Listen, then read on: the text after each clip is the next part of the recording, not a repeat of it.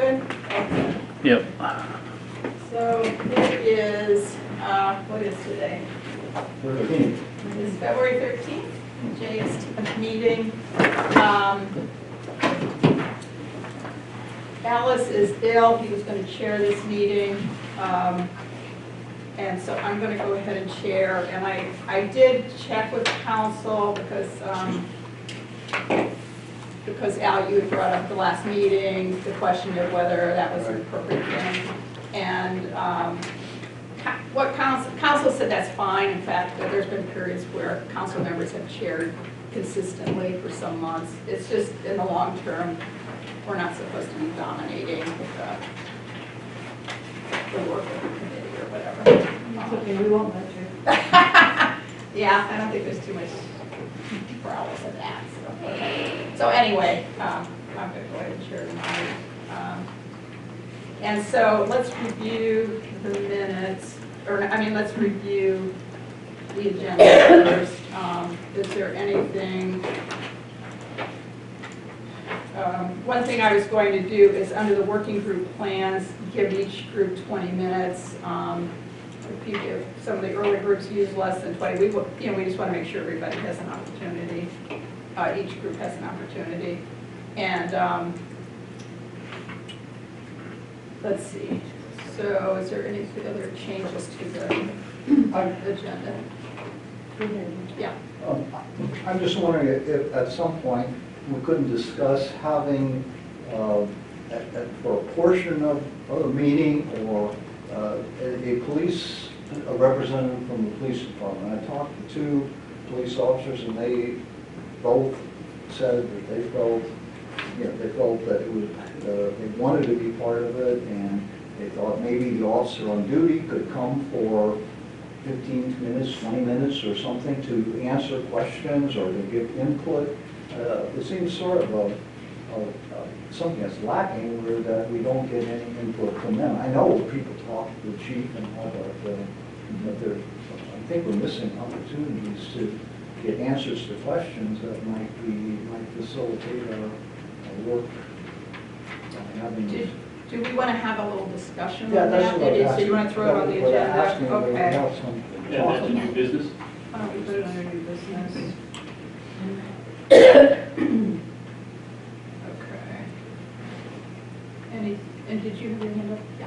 Yeah, just a quick, if we have, assuming we have time at the end, I just want to do an update about um, how we get our packets together for the meeting and how we're distributing them. And like, they're on the webpage now, does everybody know that? So, Okay. so that- it won't take long. Okay, regarding packets. Okay. And thank you, Pat, for putting the packet together. It's, it'll work actually, so.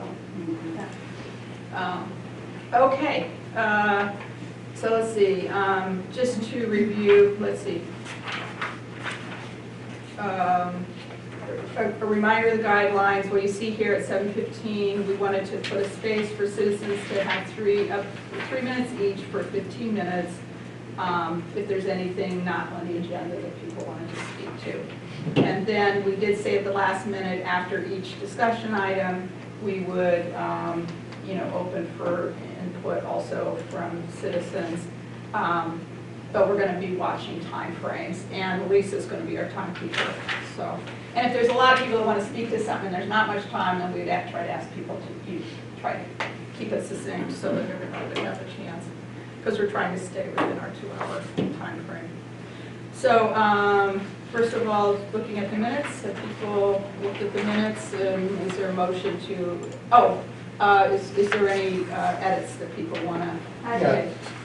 Sean. Yours is the same one. Yeah, so, Yeah. the John T is Sean, S-E-A-N, I would think. That's No, I think it's H- S. A-W, isn't it? Yeah, it's SH. Oh, it's S-H-A-W-N, Selectee. T-T-U. T-U-L-E-C-K-E, I believe. Right. He mostly has been using Paulson on his email. I don't, we might have to ask him what name he prefers. I thought he was gonna be here tonight.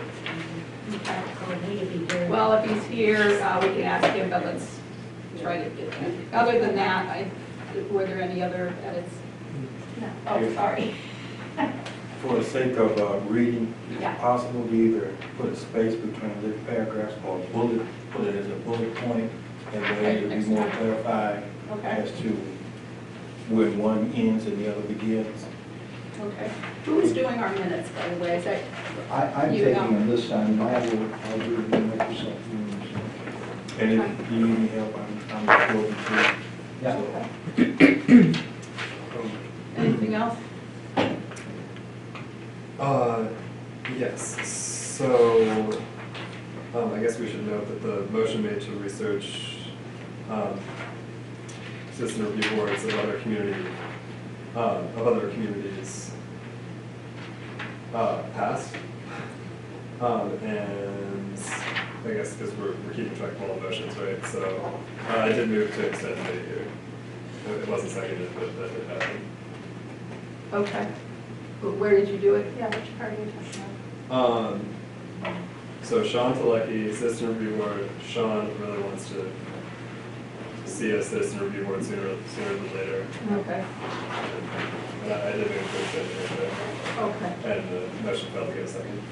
Okay. So Ally, you're making notes of those fixes, or who's, who's making notes of the fixes that we'll have to? It's in the file. Or I can do it, I mean, I can do it. You mean you're gonna amend, amend? These but amendments? Amend them before I send them to. Yeah, Right. okay. Yeah, if you would do Yeah, that. that's fine, no, no. Is there anything else on the minutes? I wasn't uh, paying close enough attention. Sean, tell me again, you, you, what motion did you make that wasn't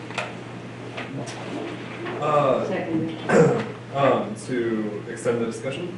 extended discussion? Just after that? Yeah, I think if we can keep track of what we actually do, uh, make motions and do second, Right, or do approve, would be be really good. Was, was there a second?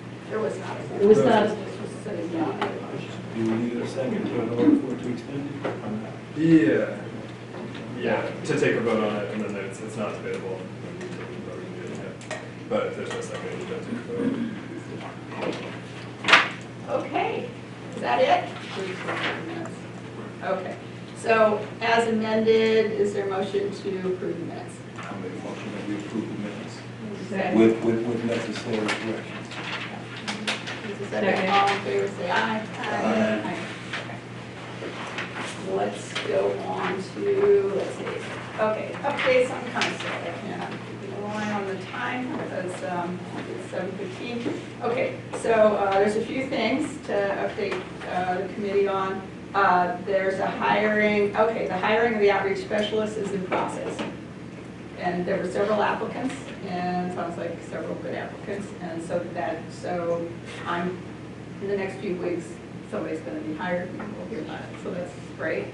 Um, There, uh, 365 had commented, um, Kevin um, Stokes, you know, who's a new member of our council, um, brought to light, you know, wanting the police department guidelines to be, it was noted that the, the new outreach specialist um, job description did not reference it, and um, there was some concern that it made sense to reference it, and council talked about that. and We agreed that we would. About diversity, diversity. Oh.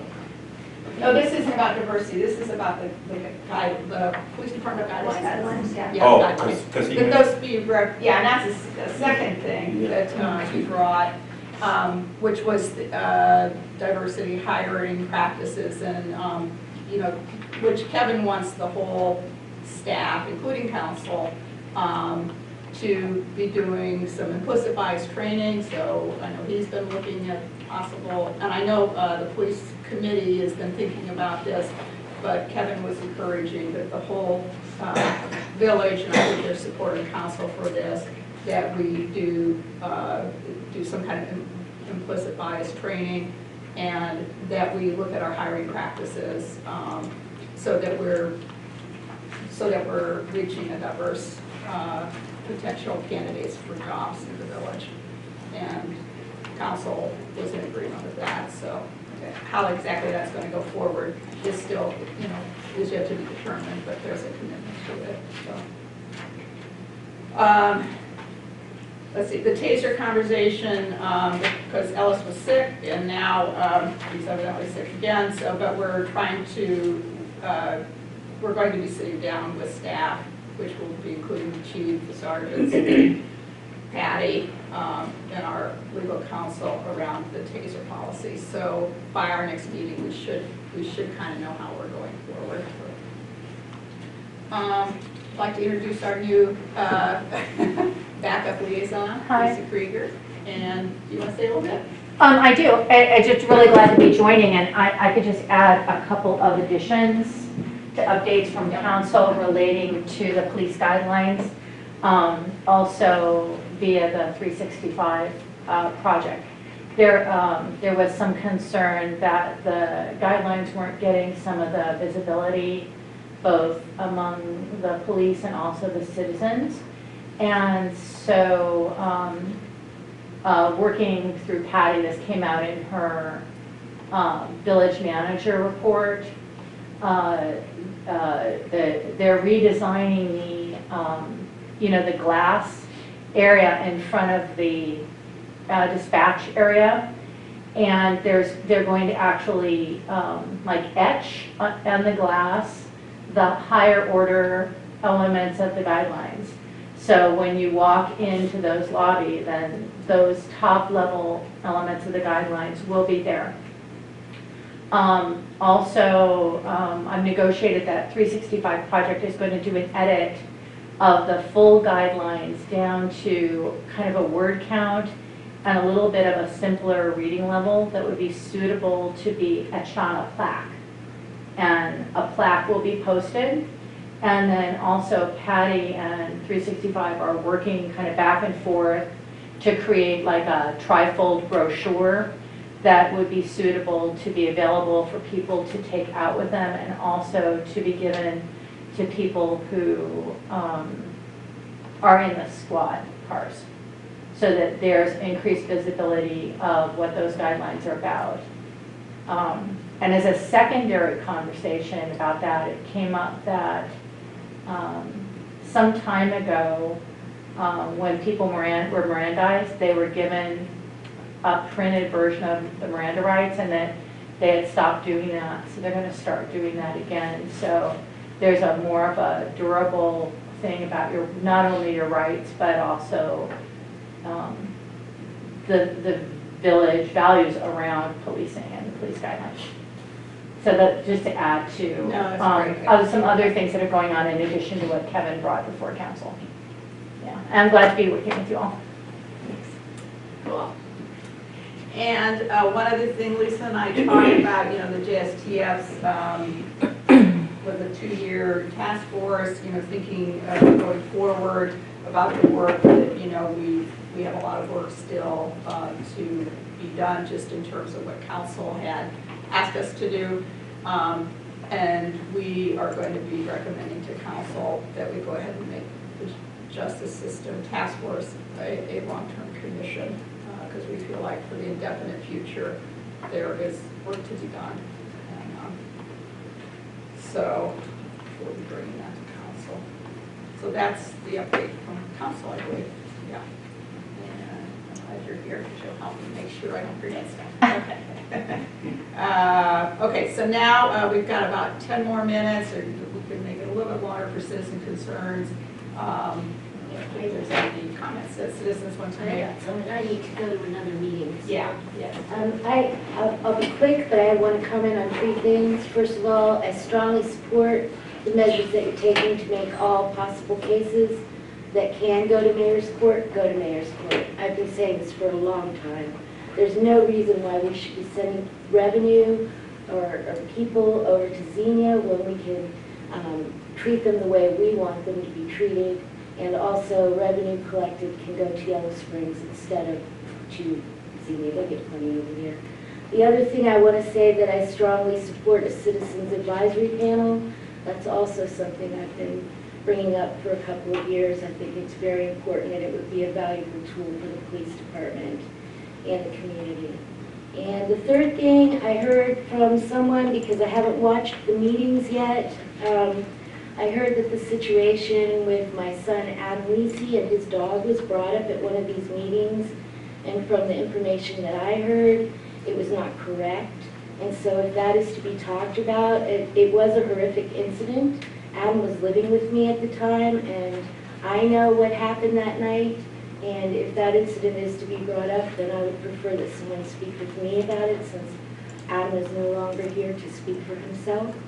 Um, It was a very bad situation. They shot his dog, and his girlfriend was in between him and the dog. They could have very easily shot an innocent young woman as well. And the tape that they recorded of the incident, the- mysteriously, the part where they shot the dog was erased. So that's all I will say tonight, but before anybody talks about that incident anymore, I would appreciate it if they would get the real story from me. And thank you. I have to go, or I'd stay for your meeting, but I have another meeting at seven thirty, so. Thank you. People say their names. Oh, yeah, that was Chrissy, Chrissy. we- it's Chrissy Cruz, yeah, good point, thank you. Any other uh, comments from citizens? Um, I'd like to say something. Could you introduce Uh, yourself? my name's William Tolle, and, uh, Say it again.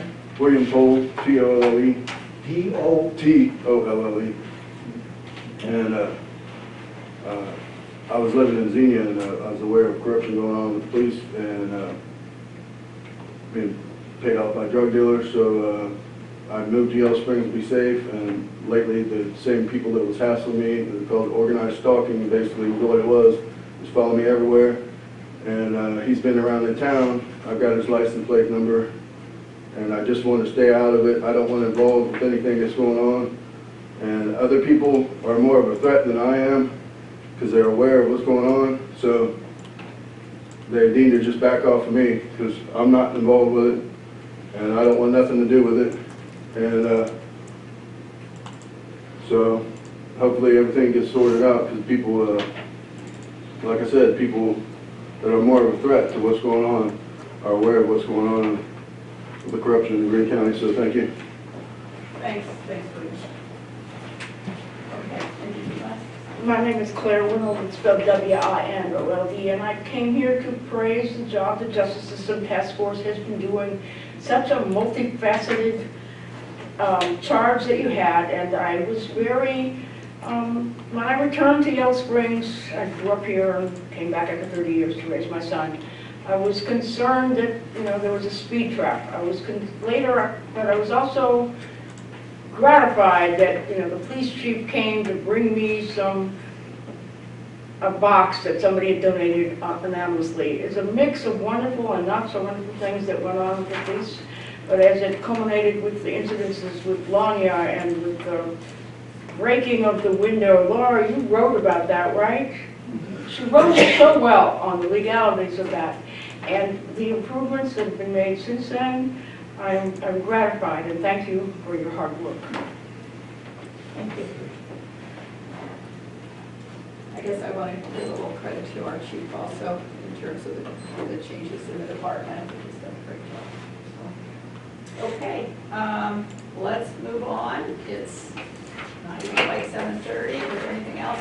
Any other Susan? No, okay. Uh, let's go ahead to the working groups. We'll start with the police working group. Okay, there should be three pieces of paper that could be helpful as we talk about this. Um, At our last meeting, we did uh, approve a research project of looking at um, other communities and the ways in which they had community, uh, police collaborative groups or advisory groups or police review structures. Uh, And so we decided we would at least visit three to five communities that have these things and uh, report on that and make a possible recommendation for changes in our, what would be a commission if if useful. Um, I want to say that the one challenge to this is that um, I have a list of about 10 to 12 communities in Ohio that have a similar population, under 4,000, uh, with the same or comparable median income. None of them have anything like police. They, many, some of them have um, mayor's courts. They do not have, uh, all of their decisions regarding policy, complaints, review, it's all internal in the department. Do- There isn't even really a coun, well, in one case, there was a council committee that looks at police issues, but, so, um, really Ohio, in Ohio, you're looking at big cities, and some of them under um, consent agreements with the Department of Justice. So it's a little bit hard to compare. Um, It's sort of a bi-coastal event. So almost every small town in Oregon has, you know, so this will be more research on the internet, although I think that Bill and I are willing to go to Oregon and visit if there's enough in the budget. But um, as- in terms of comparing with Ohio's small towns, we're pretty different. So that's interesting. The Or- the Oregon Police Department, I think it's the most important one I read last year.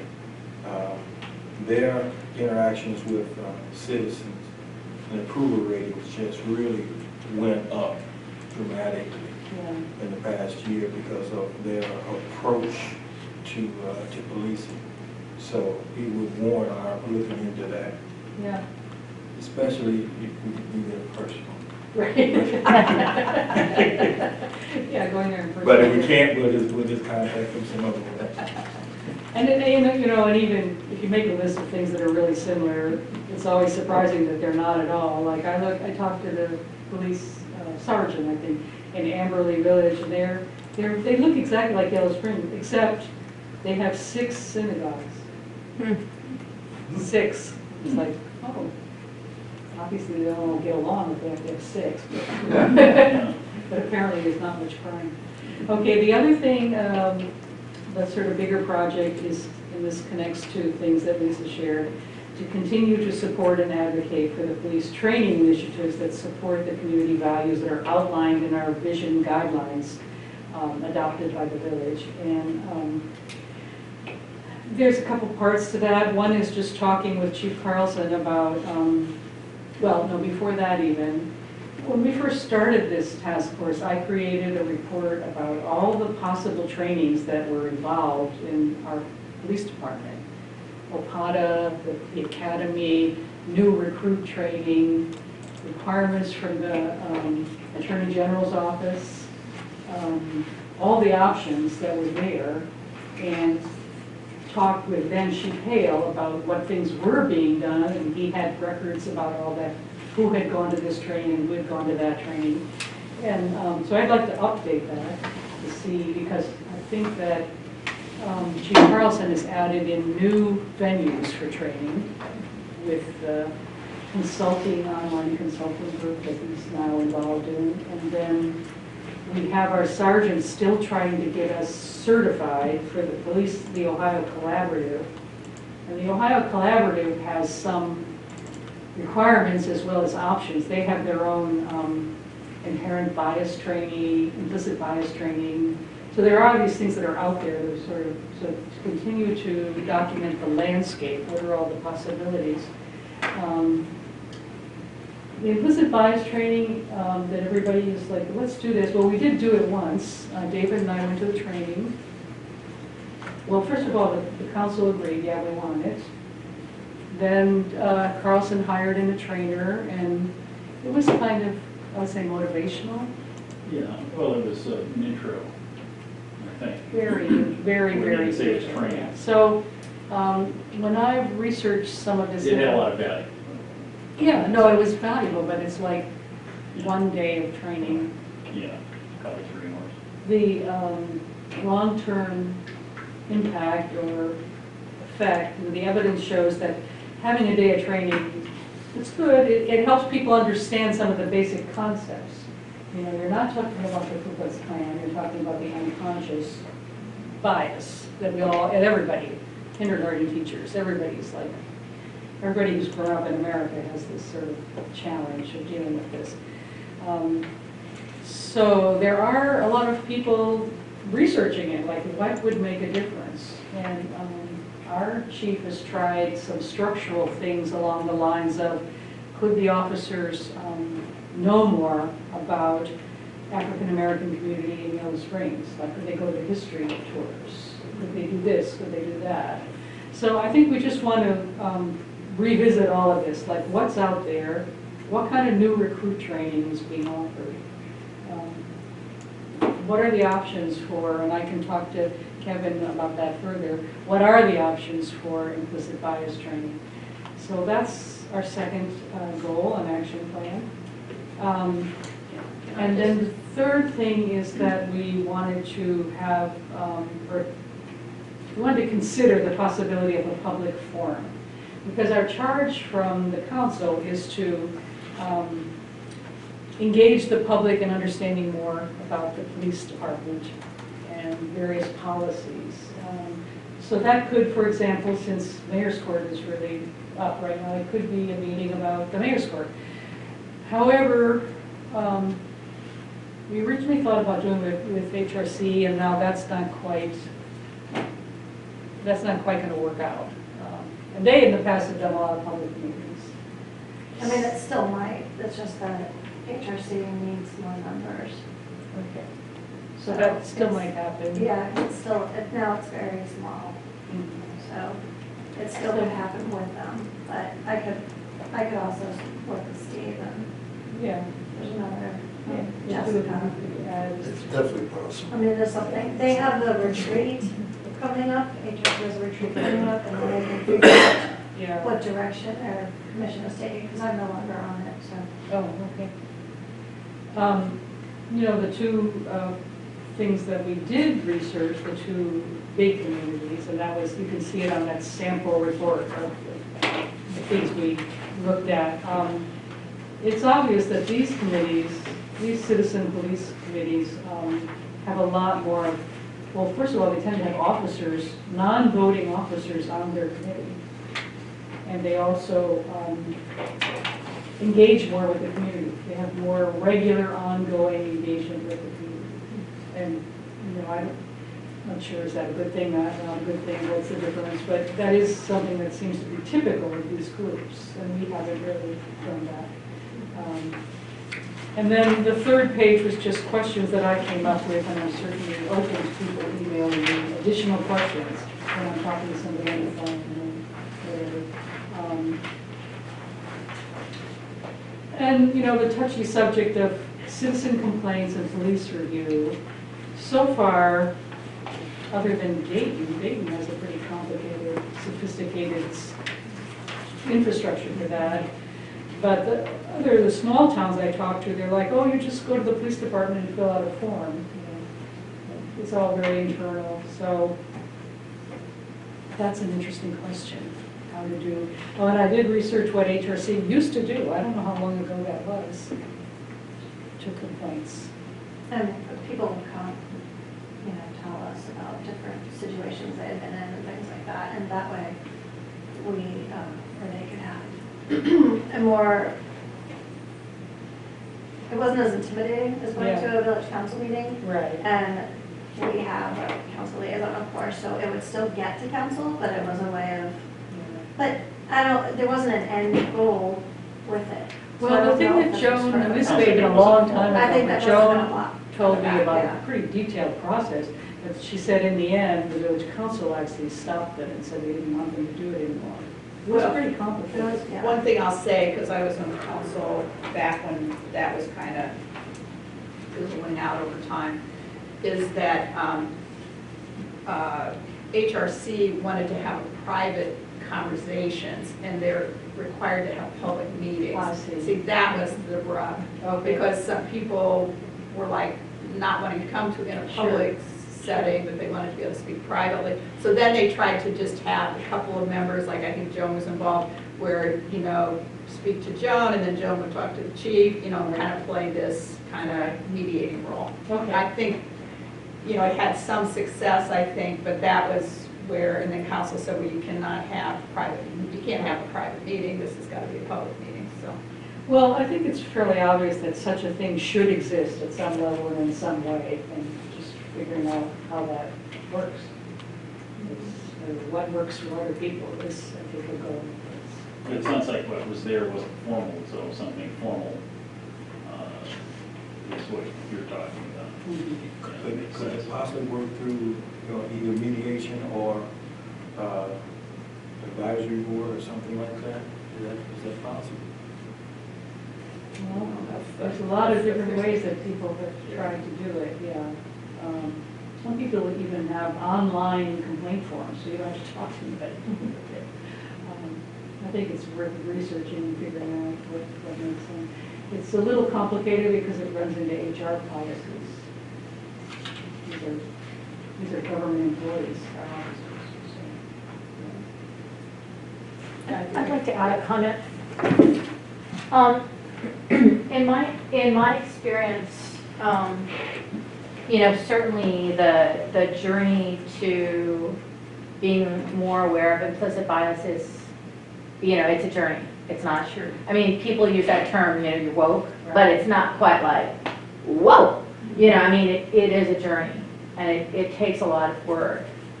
And to your point about it not being like a training and one and done.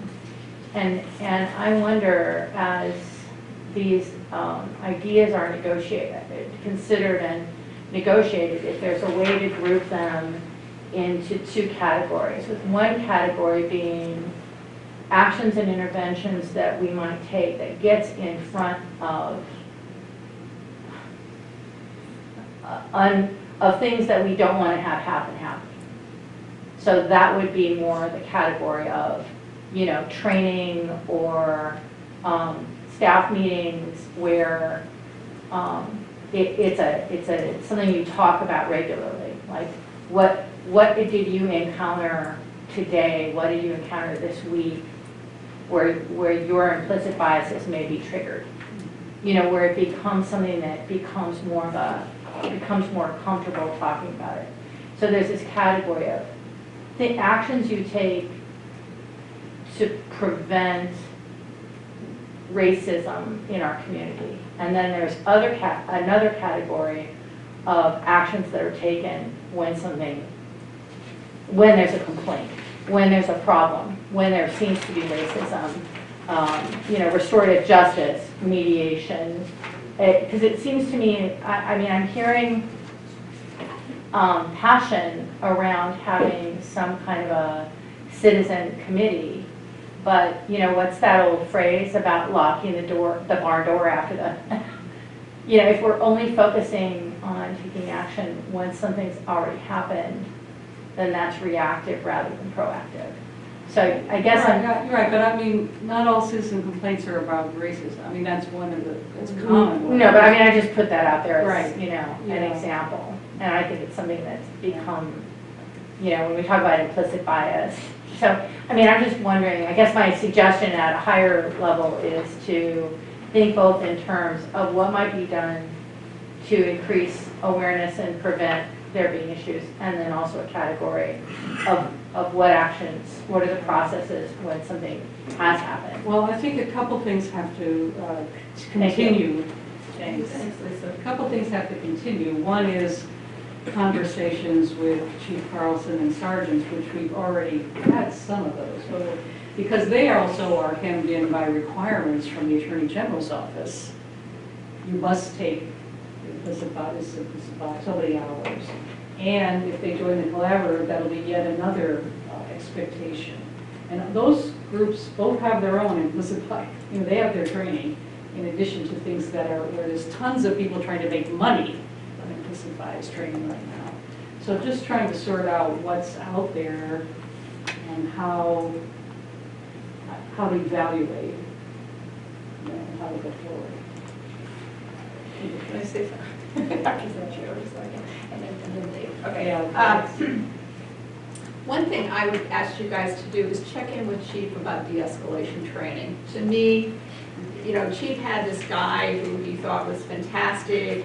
They had this first, uh, you know, training. De- To me, de-escalation is the foundational training that we want to see happen. I mean, so, uh, and I know that that person is no longer available to do de-escalation training, and I think Chief has, the last time I talked to him about it, it's been a while ago, um, he had not identified a place to get that kind of training, and I think it's absolutely key, and we may need to go out of the region, we may need to go outside of the state to get good About that, but- well, So. They they did CIT training, which is the start of, they did do that, and I don't know. CIT training, they did, but this, the, at least, I don't know, is it the, s- it's not exactly the same, is it? I mean, it's not the same No, thing. no. And, um, but it and includes what he lot. was trying to pursue, the last time I talked to him, he had not found a replacement at all. Okay. So if we could help Chief, um, I mean, I, I know he felt like that was so important. And, Yeah, Janet probably has good resources.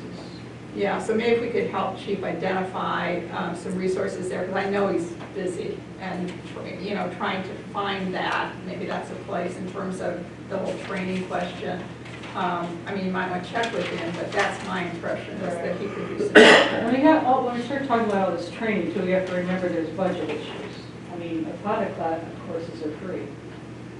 I know, but we want good, to me, that's something we should pay for. To me, that's, that should be something that the village, I mean, as one, one member of council, but I would say that should be a priority.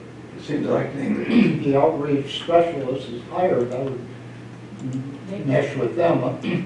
I think there's too much pressure put on the chief to solve all these things, and there needs to be a little more delegation.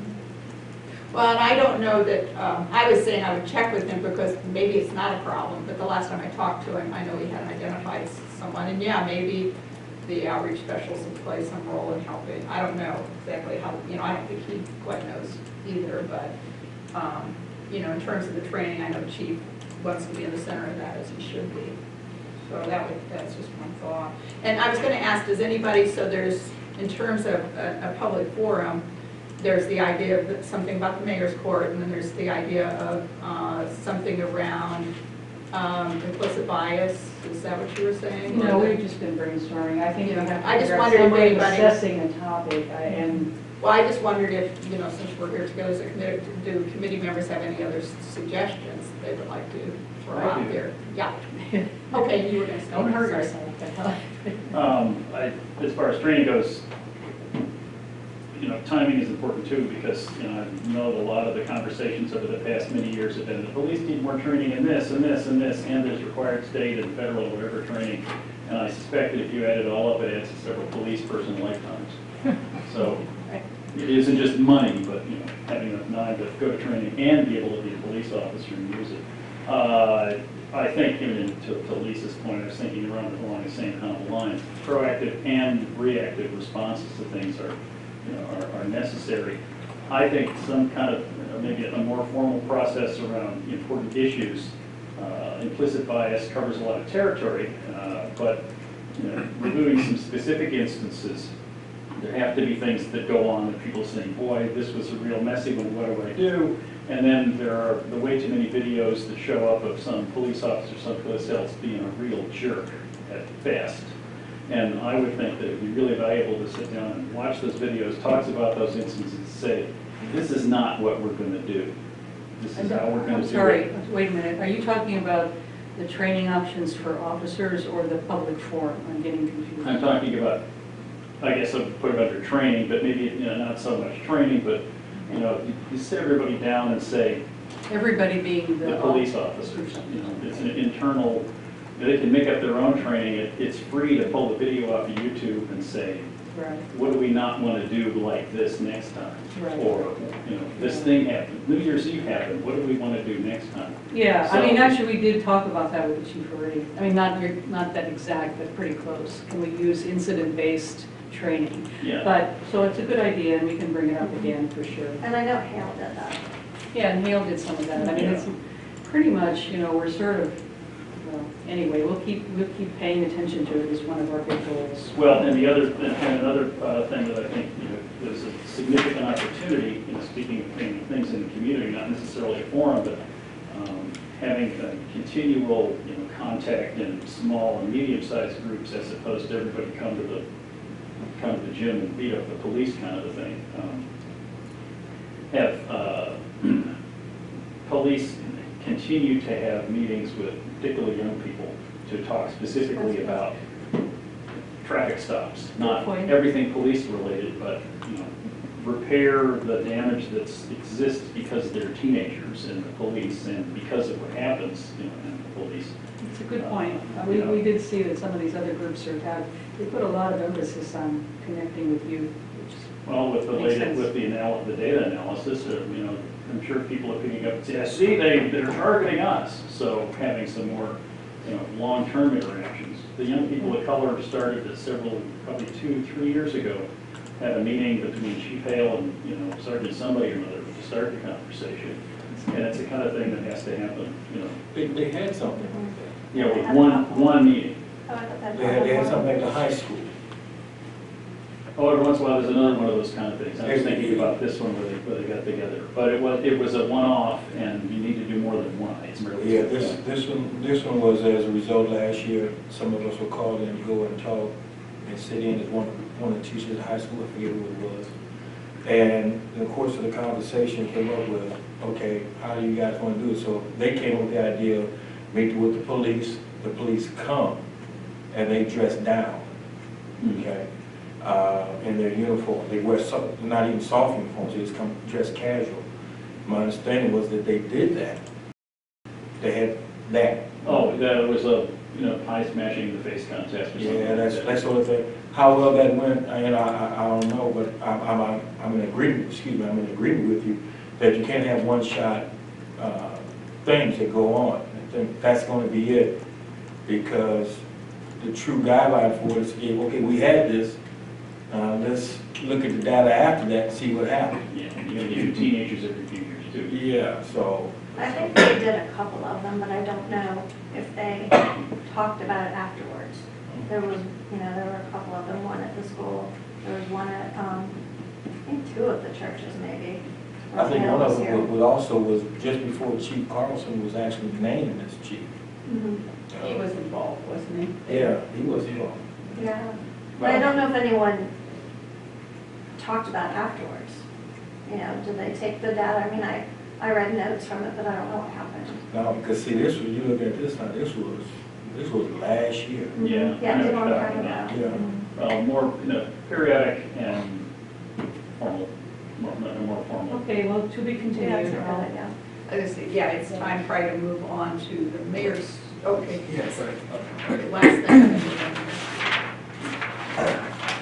Uh, yeah, there's, uh, in terms of the, I agree with Dave, you gotta do, you know, be proactive and, and reactive. I feel like there's actually kind of an analogy that can be drawn between, you know, that proactive and reactive in terms of addressing, um, issues with the police and, uh, police's own work, trying to be proactive and reactive with regards to, uh, crime, trying to prevent crime from occurring in the first place, on one hand, and then on the other hand, you also have like courts and citations and things.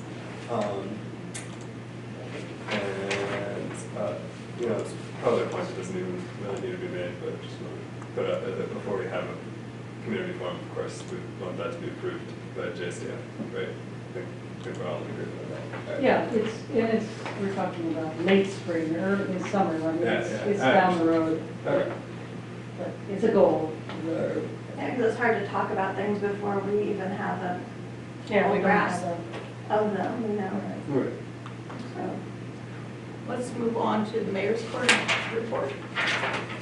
Well, you got the information in your packet, uh, pretty straightforward, instead of going over it. I think if we just answer questions, because it's pretty self-explanatory.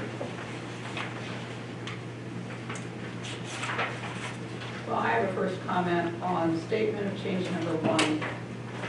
Require YSPD officers by village policy to charge cases under Yellow Springs ordinances unless legally impossible. And um, we're going to be talking about, um, you know, disparate impacts on the poor and address, trying to address those. There's this new committee, new working group. And I do agree that if, we- if our cases, you know, in order to do that, our cases need to be going to mayor's court. I think it's very difficult for us to impact anything that happens to Greene County. So, um, so I, I liked this. Well, excuse We already, we Didn't we already, already bring we that already to council? presented that, and you That's- guys already yeah. said, gave everybody like it, so, It's been presented and approved by council, right? you know, not quite a year ago. No, but it's, no. Yeah. Well, there's no, there's nothing formal in place, but There's nothing formal in place, and that's the difference, I- that, I- from what I understood, this statement was asked, because it says council to ask chief for a monthly report, that's one thing we can do, and recommending to council to pass a policy requiring YSPD employees to charge cases to mayor. Oh, we did that. So we, the task force has done about as much as we can do on that one. It's now downstream from us. Yeah. I mean, that was- We didn't pass a policy, if you remember, uh, the council did, so Right. I understood this is the next step, but. You did pass a policy? I What? mean, it- I'm asking. We did not, no. No. Well, You agreed it was a good idea and liked it. I think it's general. something to, cons- to pursue more Yeah. specific. Making it, uh, you know, in writing as opposed to, Implementation. yeah, what a great idea. Yeah. We probably should. I'm sorry, was there Track a, of the, of the wording of what we did present to council, which was approved by council, just to be sure. It wasn't, it wasn't specific, but it was a recommendation. of Yeah, well, we, we made a recommendation to council to go do this. this says so requires, it's- requires cases that can go to mayor's court, can go to mayor's court. Okay, okay. That's different than what happened. Is that, is it, is it because of the language of the word requiring, or is that something that could be changed? Yeah, I mean, if you might remember, Cindy actually June said, get the dance and ahead of, in, I think it's a conversation. What? happening here. when, I thought that that was what the recommendation was, and then back in April, and then as I was arguing again, well, arguing at least, you know, gotta think about the implications of that and YSPD might, what's going to say about it.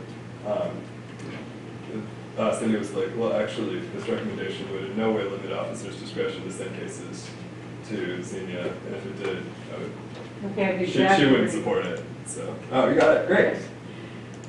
JS, the Justice and Task Force recommends that the council direct the chief of police to direct officers to refer all allowed misdemeanors possible to the Yellow Springs Mayor's Court.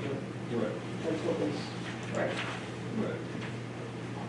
So the only difference, the word require, Well, this is saying the council would actually pass the policy. We wouldn't direct the chief and all that. We would actually set the policy. And there was some concern about impinging on the discretion of police officers. And I believe I've been talking to enough people around the village that it is something we should pursue. It is not something we have done.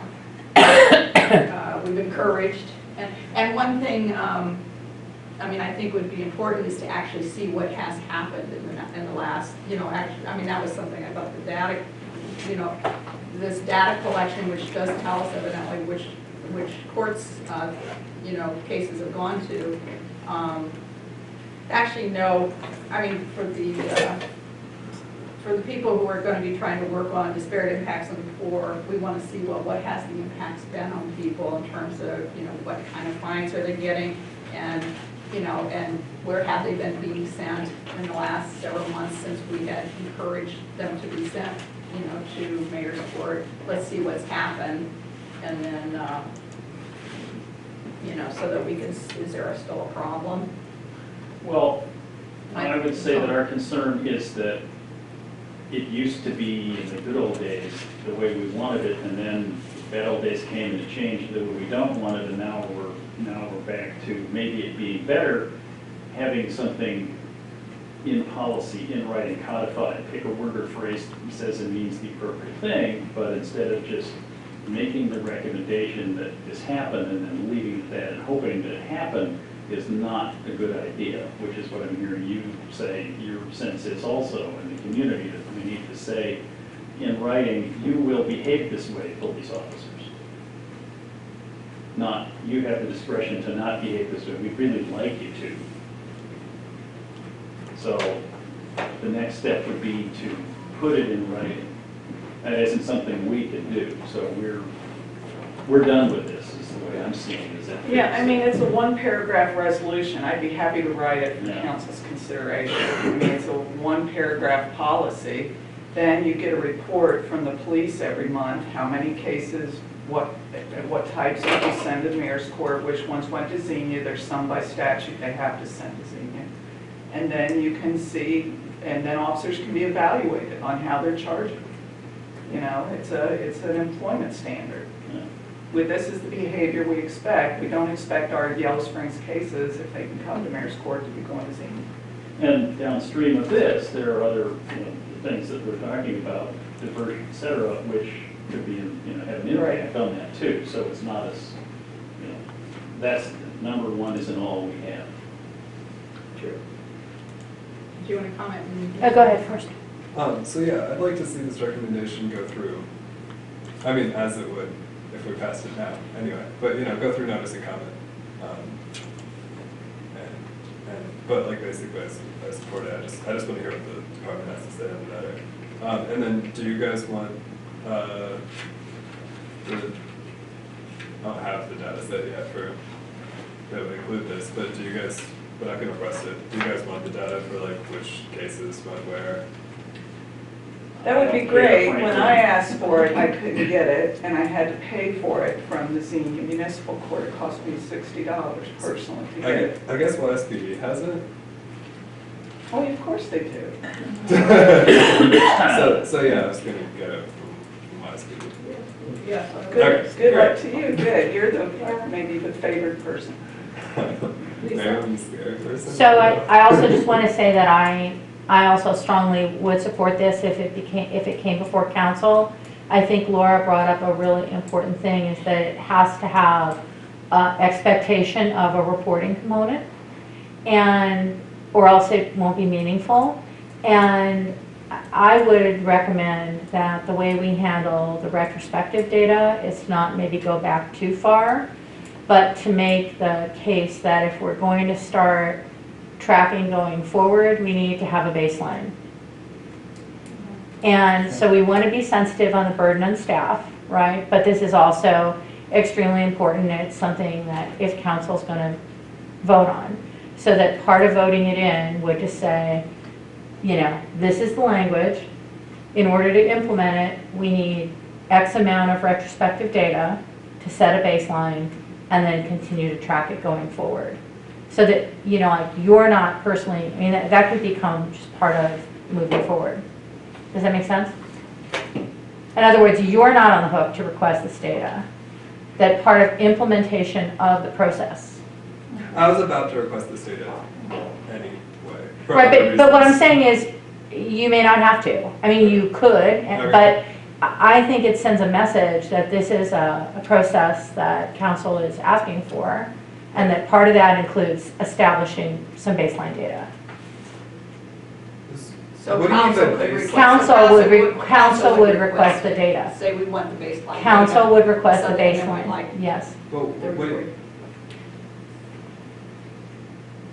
okay, but, but like, isn't also the idea that going forward, it's almost like, you'd almost be setting by policy which cases go where, so. You The would almost- policy's actually in the Yellow Springs ordinances. Mhm. We have an ordinance book filled with, here's the, But the here's officers- the charges. And, and they've been Use trained on it in the past, and also needs a cheat sheet showing what Mhm. code But it ha- section. It has to be monitored. Okay, I, I guess what, what confuses me is that, um, basically, I'm imagining that basically, you know, currently in, in the past, um, what, what I'd be looking at is basically how officers have been using their discretion to send in some cases to Xenia, in some cases to mayor's court. But the recommendation, if implemented, will probably almost make it like predictable which cases will go where. Because mm-hmm. Unless count, But you have to Unless it's mon, not- you want to unless it's monitor not- it, Unless it's right? not monitored. Because it's a behavior change. So I mean, Right. anytime you implement a major behavior change, you have to monitor it. It's true, mm-hmm. To okay. make certain, not- and not Okay, in so this is like just a, not in like a punishing, oh, you're bad way, but just say, it's something new, Right, there's a new mayor, it's a transition, okay. that kind of thing. Eventually, it becomes, as Laura said, something you include in an evaluation. And that's my idea. Okay. And do we think that, um, there was this idea of a notice and comment hearing from the department, or there's some circumstances where they think they need that discretion? And do, we want to recommend that we, well, we'll be getting input certainly from chief, and he can ask, you know, talk to his department if there are things, um, then I guess he would bring that to council. I would suggest looking at all the different That's right. all the different things in here, they all go together and, and would have an impact on that. So look at them all together instead of trying to parse one, because there's interrelationship between them. So number two, talking about a diversion restorative justice component, uh, is going to have some impact on that. Um, Charging, not charging cases is, you know, criminal versus civil, civil, you know, number four.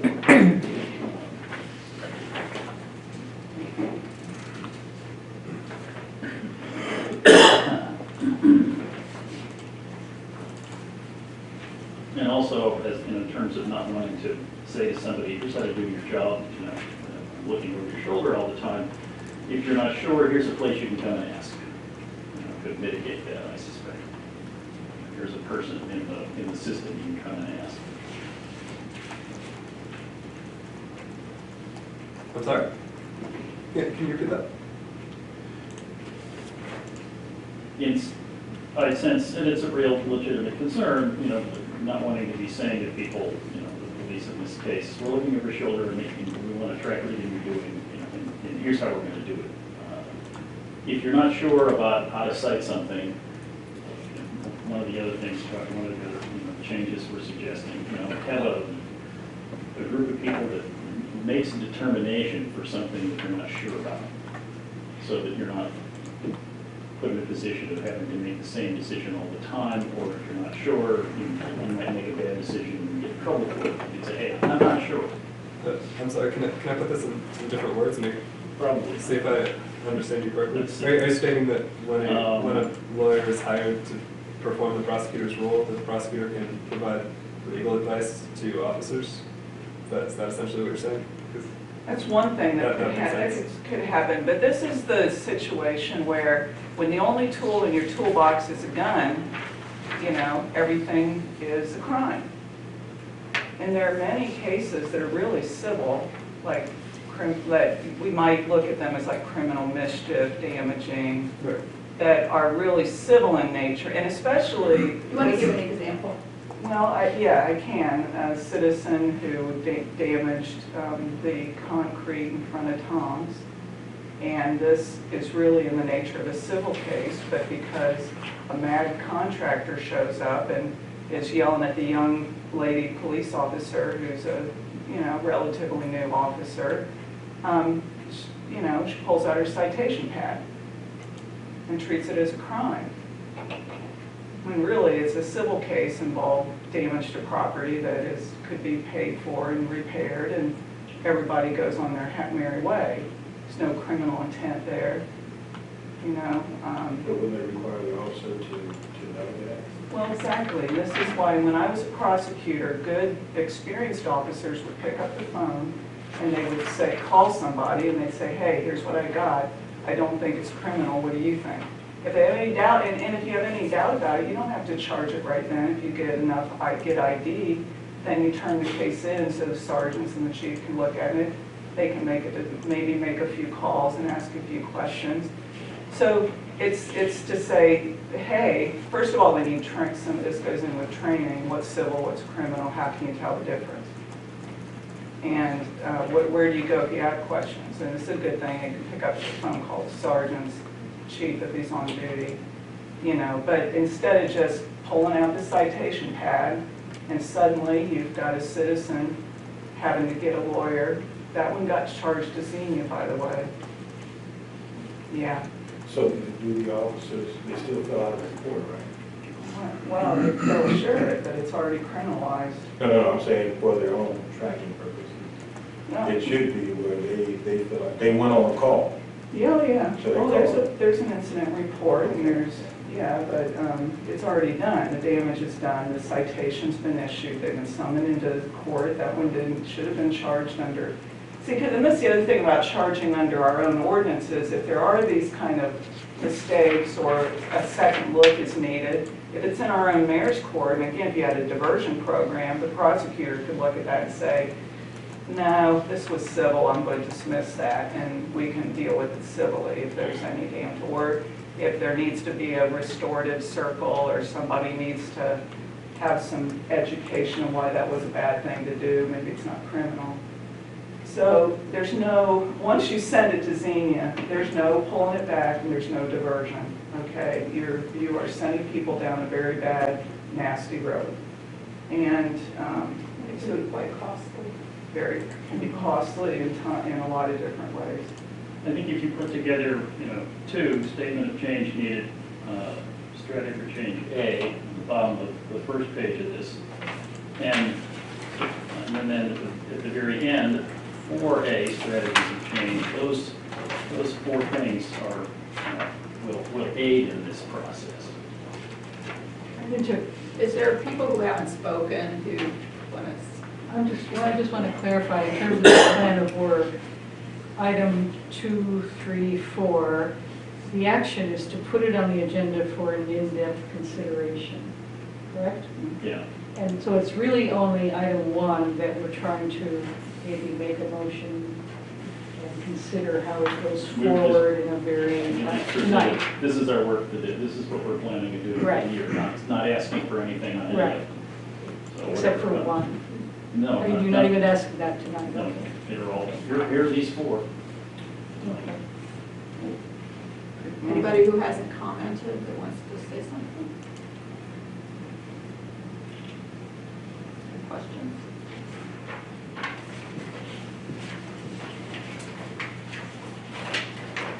Okay, so then I assume then on the next agenda, that first one will be on the agenda, something like that, that'll be how the work plan is, correct?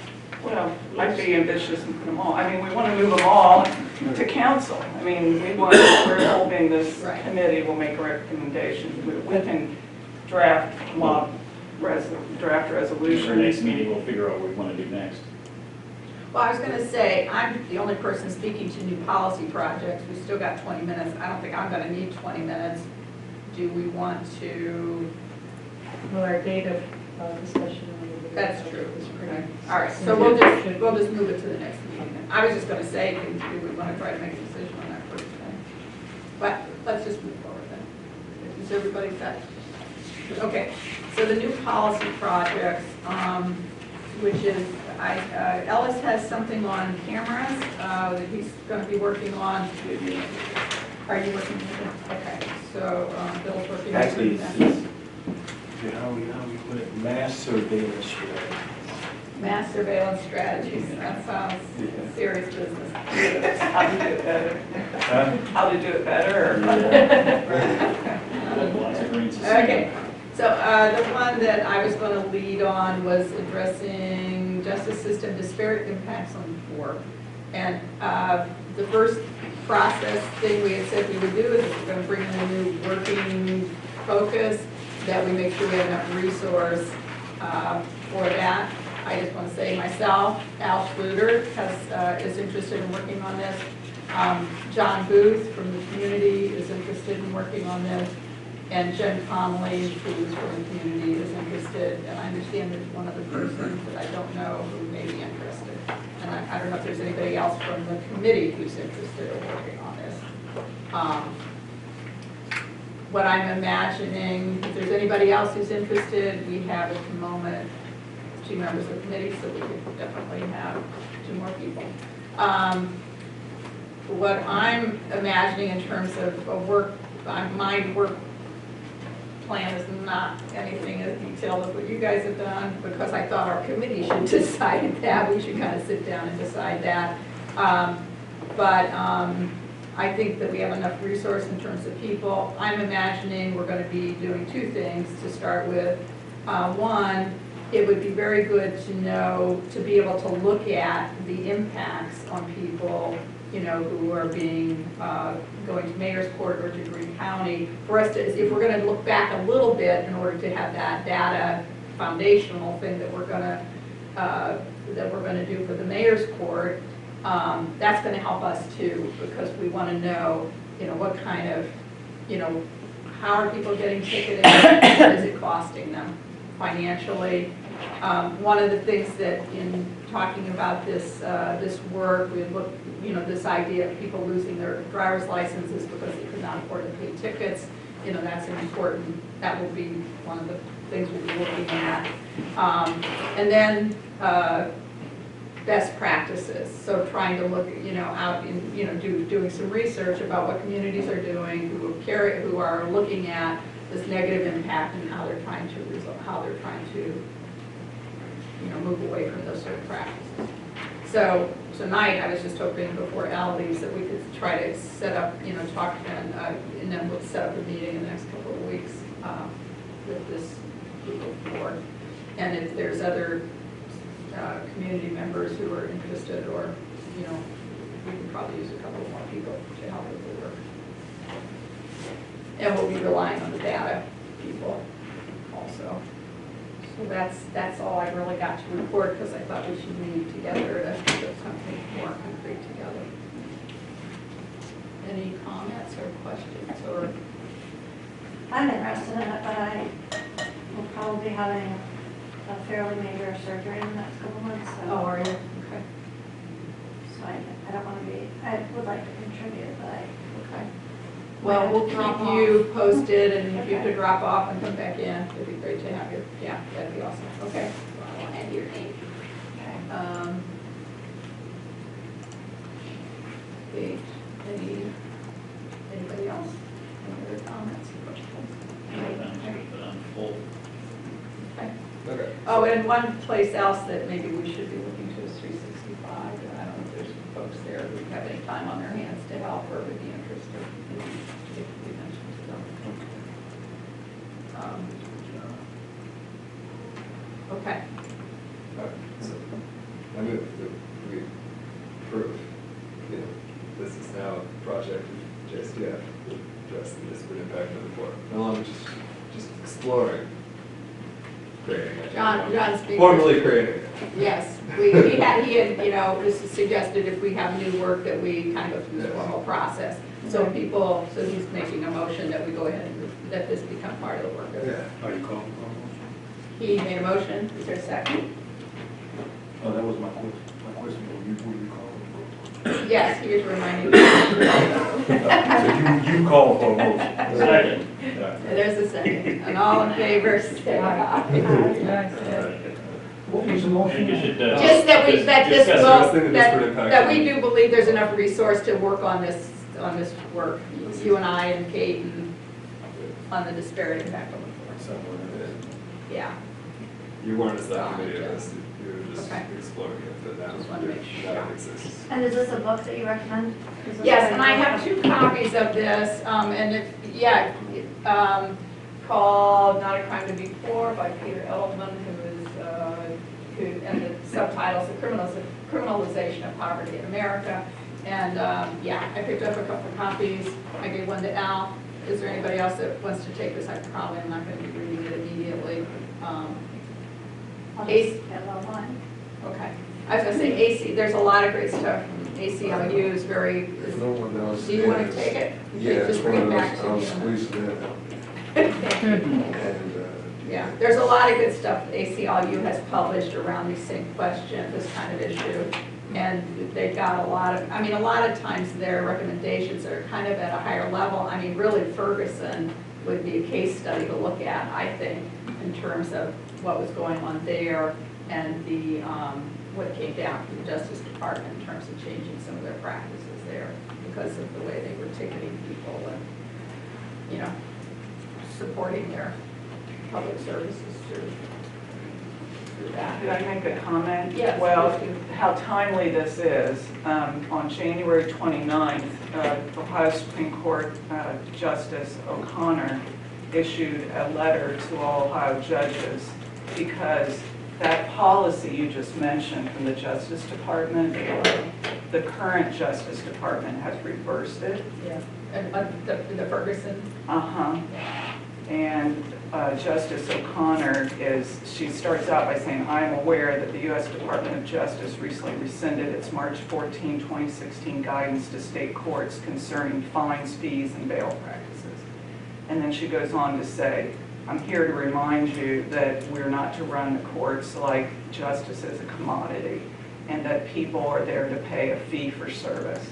And that your justice means looking at fines and costs so that they're not being used to run the court and to impoverish people. And then a corollary to that is um, you're not allowed to do other things, uh, punishments to them if they can't pay. So I'm going to give this letter to you, and it's got some links to resources from, on the Ohio Supreme Court website. Awesome, thank you very much. Yeah, that's- that was really good. Okay. Okay, that's my report, so uh, let's go ahead then and move on to the discussion of the data group, uh, 2018 plan. Okay. Um, so I just wanted to start with just making sure that, I wasn't sure how comfortable people felt with the previous report, if, if they felt like they understood it, if they had any questions. Um, That's the Yeah, that's this. Sure, paragraph in the back, each one. Yeah, it's, yeah, it's one page explaining it, and then you've got your one page chart, and then this is, it explains, it's basically just showing counts for these different sort of violation groups that I created, and then these other twelve pages explain what charge statutes I I actually was fitting in those groups. And, um, the degree of, the- of the charge, the degree for misdemeanor, um, which I guess gives you some sense of like the severity of the, of the consequences for, for the charge. Um, and this, this front page also under degree of misdemeanor, by the way, it states the maximum jail terms and and fines that you can pay for each of those misdemeanors. Of course, usually people don't get maximum punishments for things. Um, And also, things can get let down once they get to court. Prosecutors can change what the charge was, I guess in either direction, um, but gives you some sense what's going on. As, as people said, like, with regard to the previous report, like, these are just all citations, we don't know what they're for. And this sort of gives you sort of some idea of what they were for. Um, so anyway, did anyone have any questions about this report? No, I'll move on. One question I do have, Yeah. what should we, should we, I think we should pass this in some way on the council. I mean, And I was gonna ask, how do we wanna do that when, when we get reports, I don't know. Yeah, If, if we pass on the council, in, in light of what was said the last time, I strongly urge that it be condensed and not, uh, I mean, have the whole thing available for someone who's interested, but uh, I don't think they're gonna read 14 pages. It seems to me, maybe it could be, be highlighted, uh, categories could be, could be uh, uh, put, um, could be, if it could be condensed to one or two pages, I think it would have a a bigger impact. And also, I think a lot, the the council and and people on the council have talked about timelines, wanting to see how the change is. And and it- I think uh, it would be, if it could, some of this could be put in a- on the graph to show the trends over time, it would be much, it would be more valuable. Just, I mean, so many of these categories have one, Oh, yeah, uh, sure. one incident, and I don't, I just don't know what value having all of those things go to the console. I mean, I, that's just my reaction. Um, If we want to have an impact, I think we have to present it in a fashion that's going to get their attention and to uh, give them valuable to information to react to. Um, other comments? I mean, the question is, when we have reports uh, like this, and I know Well, the council. question behind this, Yeah. that question, yeah. which is, who are we doing this for? What is the question this answers? We have to start with the questions, that, why are we doing this? I mean, I, I would say transparency, but that's really, you know, pretty huge and generic. I mean, I support it, but I think in terms of driving the research design, and, you know, do we really want to go from 2010 to 2016? And Does anybody on council care about that? Because they want to look at going forward. So we have to do a little more thinking about how we frame the questions for them. Not that they're dummies, but, you know, what is the question that we're trying to get to, that we want council and the police department? I mean, would the police department find this useful? And then what, what are the, what are they looking for when they do this? And I would agree that the, if you look at a chart and it says um, obstructing uh, official business, and there's six residents cited and 10 out-of-towners, but you don't know when, did that happen in one year? I mean, over a six-year period, you know, what, Mm-hmm. was that, that's a total of six years, but it could have all happened in one year, and it could have all been one-off, or, you know, I mean, it's sort of like, it's a little too much detail without enough clarity, I think, to, Without enough detail. Without enough detail, not too much detail without enough clarity to be handed over to the council. I think we're asking for trouble. Isn't there a pile of data supporting information, et cetera, that goes along with the thing we want to say to council that gets filed someplace by Judy? I'd say put it in that pile. That, that is accurate, uh, which this on it. I mean, I this don't is, think all of it does, though. The last report was what, four hundred and forty-four pages? Oh, maybe that's right. Did that all, So, did that all go into, that does all Oh, go you into mean on the packet? housing needs assessment? Right, that entire. It's all online. so, I mean, if this stuff is available. But, online, somebody but, you know, there's a, there's a, you know, it's got this uh, executive summary that is very readable. It's still several pages, but it's, it's very, it's very, Wasn't it just concise. the data that supported the previous analysis that Bodley did? this Isn't is just the data different. that I'm not Bob- sure No, how we this should is use this, totally but I just separate. raised the question. I, I think we should think about it. I It's the think it's, data in some form, it probably should come to council and the community, but I agree with Pat's Yeah. Uh, question of sort of how to, you know, because as we're thinking about the mayor's court, it's useful, this, it's kind of useful to know, better, you know, what are the, you know, have a better sense of, of what we're talking about. Um, And I agree, it- you know, I, I agree with what Al said, and I agree with what Pat said, and maybe, I don't know, does the data, you guys are working on the data stuff together, is there, I do think it's, having some better sense of what kind of citations are happening would be helpful. And, Right. but I agree that, I agree with what you guys said in terms of trying to make it more understandable and useful, just as the council and the community is trying to have a better sense of what's happening. So I don't have an answer to that. Okay, so it's possible that there's some additional thing that you think would be useful? In which case, like, I guess some specifics on what, what that could look like.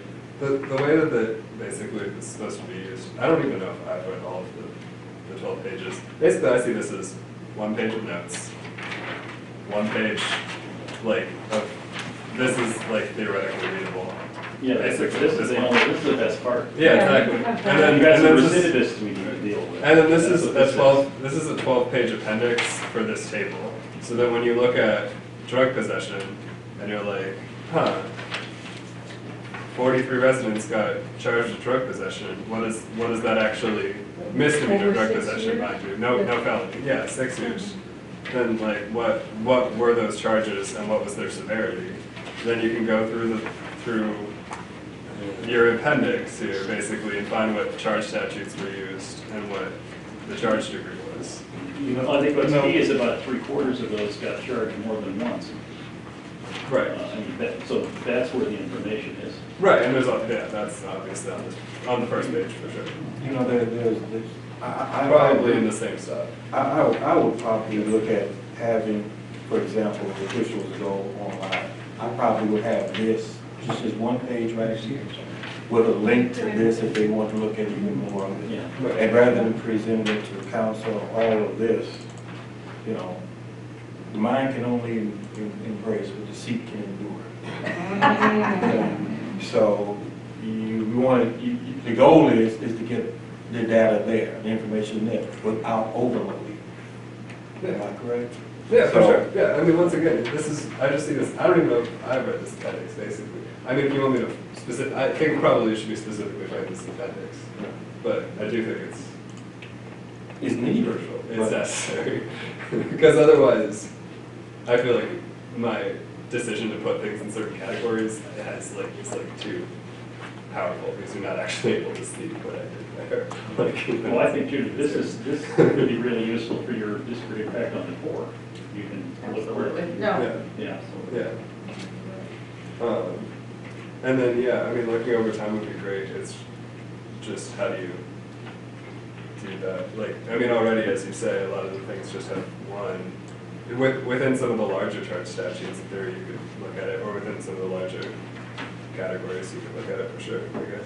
Is there I some, mean, if you were presenting this to council, you'd say. Yeah, I guess, Okay, here's, here's our report, and these are the citations, this is what, um, going back to our charge. These are the types of citations of the Yellow Springs Police Department over a six-year period. yeah. Then what would you expect back from them? Or Would you point out, would you point out some issue related to what you found? Or you would just say, this is it, this describes it? Yeah, this is to answer the question, what is the YSPD issuing citations and warnings for? That's Okay, all it yeah. does. Um, Don't we have two council people, so what would you do with this? I mean, I, I guess it It would be useful maybe the last couple of years to, maybe to just look at them separately, maybe. Um, I would suggest it'd be good to have a repository available someplace online these days is where those things live for supporting data, you know, plus whatever other documentation that we have, uh, the task force, and this would go in that pile. You know, along the lines of what Bill's saying. Um, I- you know, I would look at it, I would say, okay, interesting, and, right, and, Yeah, So to me, it would have to be correlated with an ask or an action or in support of something. So for example, if it's, let's say it's related to mayor's court, and you had other data that said, this is what went to mayor's court, you know, this is the total that went, this is what could have gone. Exactly. I mean, to me, as a standalone, it's, it's interesting, but not actionable. Right.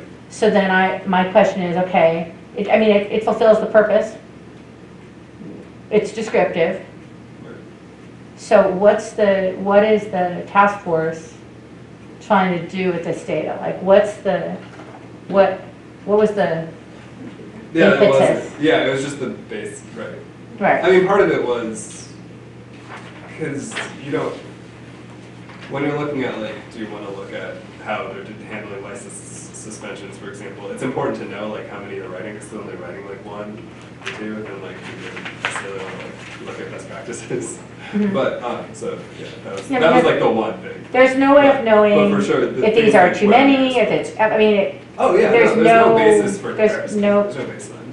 it's not actionable, so that would be my concern. Oh, yeah, it's absolutely. And I, I think I might even say, so why, you know, why would you spend your time doing it without having a, I think I, can- you know, a I purpose? think- I can answer that. I, I think, now as a scientist, I think the more data you have, the more information, the more, uh, the better it is, that you may not need it immediately, but it is valuable to have. The, uh, but my, I would like that we just, we accept this and send it to the council or do whatever we're gonna do, and then move on. I, John started this before I teamed up with him, and I'm anxious to move on to what I have heard the council asking for, what I think would be very valuable to the mayor's court, to do data analysis that the, the council wanted to know what the trend was. So how did the data for citations for 2017 with our new chief compare to the, the past time? It, uh, we apparently can get the data that show where the citations have been sent, to mayor's court or to, to Xenia. It would be very valuable to see how that trend has been for, uh, it would help give the data that would be uh, useful to the council uh, and to the mayor's court for what we got. So I'm anxious to move on to what I have heard the council asking for. I think there's data that would help the mayor's court uh, group and, uh, and, and uh, do some more analysis. Okay, great. So, So do we just hold this for now until Yeah. it's relevant, or do we it's just actually- put it I'm into sorry. the package and say this is some work? Judith, um, I'm sorry, Yeah. so that process question is, I'll, I'll reach it, and it, it'll answer that. Like, we're gonna, can, can I just go through this, is that okay? Like, you're asking a process question, but I'll, I'll cover it. Um, so, uh, so a process question. So there were some disagreements regarding the process around the Wright State University Statistical Consulting Center report, and I feel like there's two primary um, areas of concern.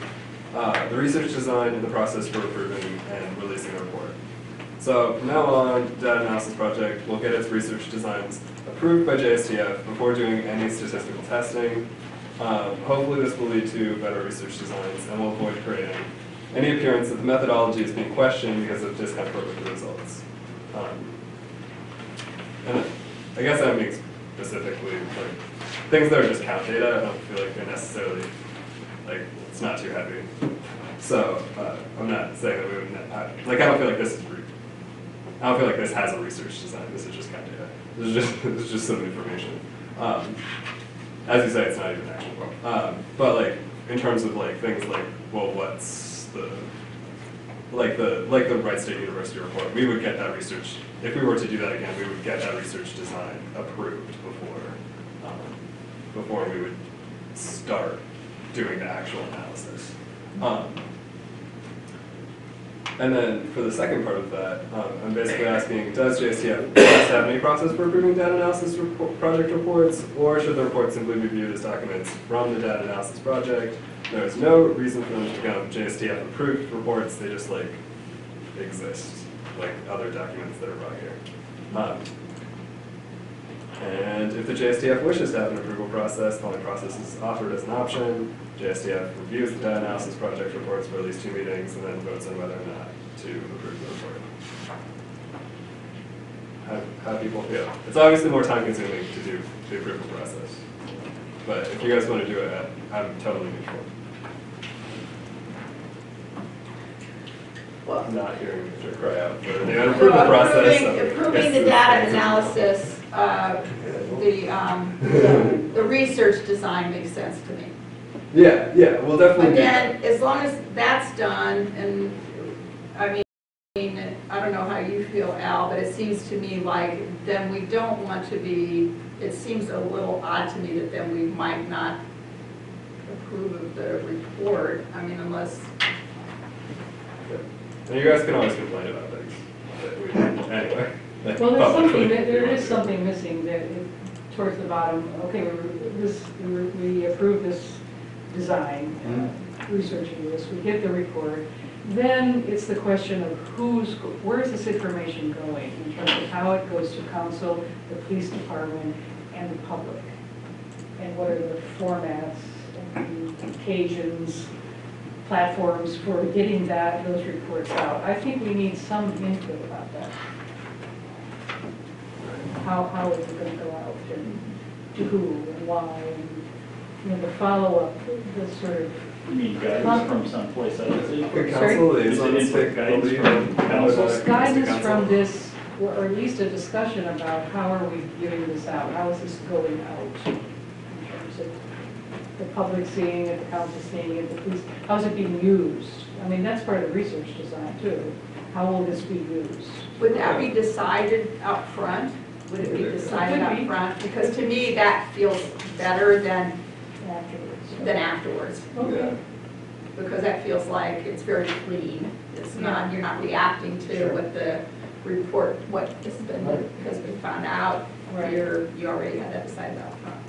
I think we're, Yeah. I think we're- we're making it a little more complicated than it needs to be. Our output so far is a set of recommendations to council with supporting documentation and information.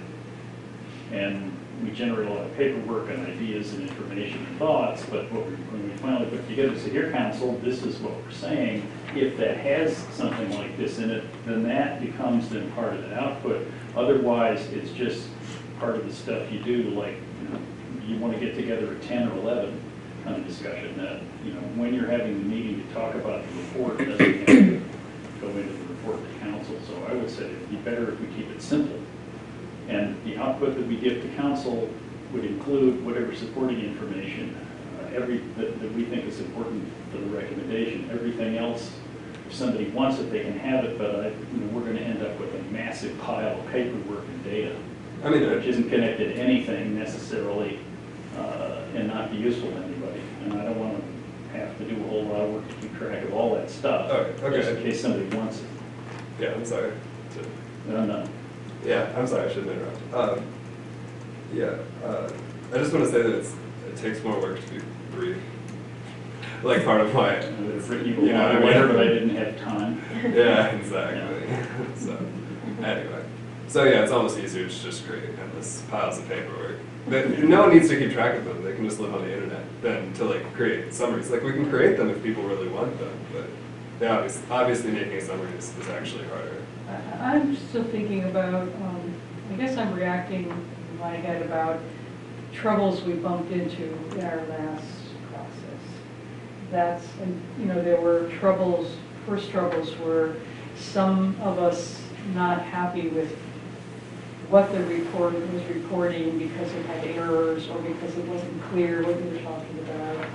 And then that created some discomfort, and then pieces of it went out on Facebook, pieces of it went out different places, and then there was public reaction to that. So sort of like, how do we, uh, as a, as a task force, we would have to um,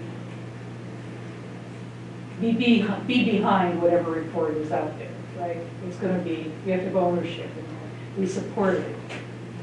As a task force, we have to say, Well, that's the question. we Do understand, we understand this report, we agree with it, you know, we s- we stand behind this report, and we agree with it, and we understand it. I mean, we can, we can talk about it, we know what it says. So that sort of happens, that doesn't happen at the front end. It didn't, certainly didn't happen at the front end with our last reporting. I mean, I'm wondering with Beth being out uh, with her knee, Right. um, and I'm wondering, so,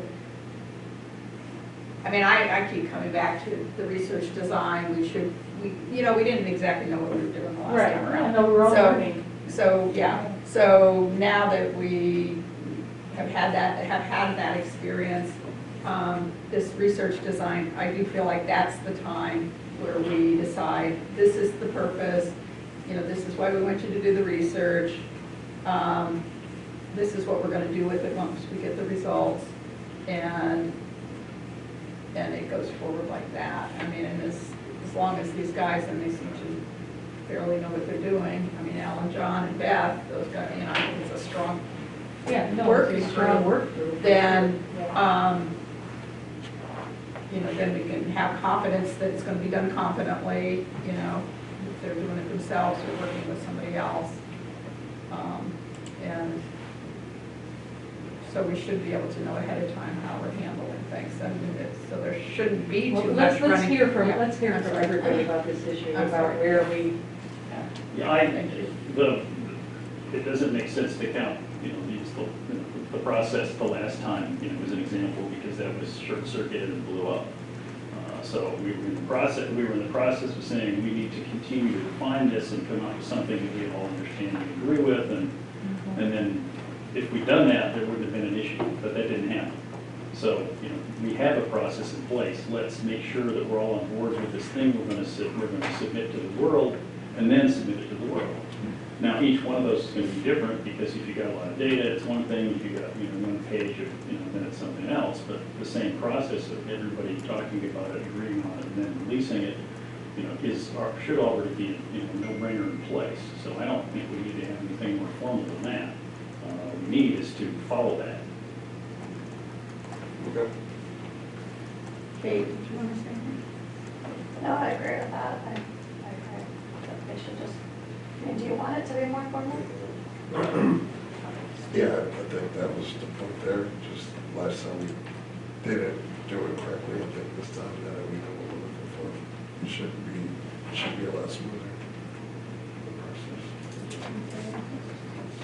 Well, yeah, I, um, I agree with everyone, but I also think, uh, if this is just for purposes of information or, again, I think, um, the issue of actionable steps, you know, what, what, what could be taken? You know, there's the, the what, we have the what, now the question is, so what? Uh, and we, we, we need, need to be able to, to answer that. That's something, John, if you, if you have, that you could, you could help us to kind of think through it. So this is something that was brought up at the working group meeting, I mean, can maybe speak to this too. Because Beth was, was sort of expressing the same view. I don't, I don't know if you feel like I- I won this argument, if the argument's ongoing. Um, I sort of argued that, uh, the data analysis project should not sort of politicize itself by looking at like making policy recommendations or anything like that, like we're just creating informative reports. Um, and that's like, it's for others to, it helps provide background for other people that want to develop a policy. But it also, John, John, I got it now. I got it, okay? Because, it- because I agree. We've done this now, okay, so we can't say policy or whatever you want to do. Here's the data, here's the information. Yeah. Now, it's here, it's in your hands, you guys run it. Right. Yeah, okay. Right. I go with that. But there's real value in, uh, in getting the data, it can be used by the police department to, s- to, for, for the, uh, so the officers can see the data and see if they are, are, are, um, near the norm for the other officers. There can be, it's a way of self-calibrating. And uh, if you don't have the data, there's no way to self-calibrate. And so I think there's real value to, and I think that the police officers I've talked to have been very interested in getting the data, uh, not maybe identifying the officer, but just so they can see that they're following a pattern of- for sending cases to the mayor's court or whatever. So I think it's very valuable. Okay, thank you. Uh, uh, move on to a discussion of future analyses? Um, What does the JSTF want to gain from conducting data analysis? Um, What questions the future analyses answer, and uh, what are JSTF's goals, priorities regarding data analysis? Um, These questions are sort of formed after, of what what Beth wanted us to talk about, pretty implemented. Um, Yep, that's all I have to say about that.